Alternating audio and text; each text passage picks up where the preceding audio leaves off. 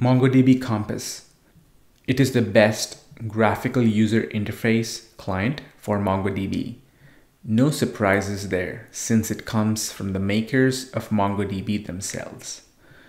It can be used for visual exploration, data manipulation, and debug and optimization.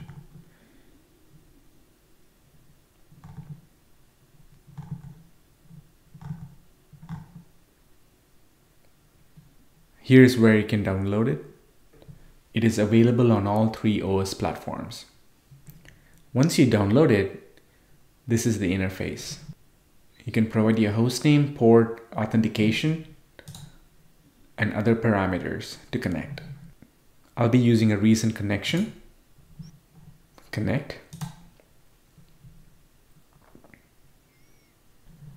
Here's the database I just created. Collection.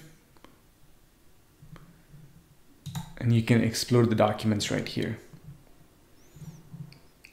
You can also manipulate data, add a new city.